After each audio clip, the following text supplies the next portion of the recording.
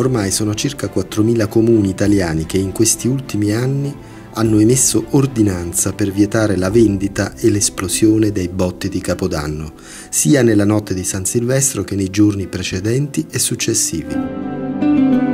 È un importantissimo passo in avanti verso la civiltà. Non dimentichiamo che i botti illegali, ma anche quelli legali, producono danni a volte irreversibili a tantissimi animali, sia domestici che non senza contare ovviamente i feriti e i morti tra gli umani.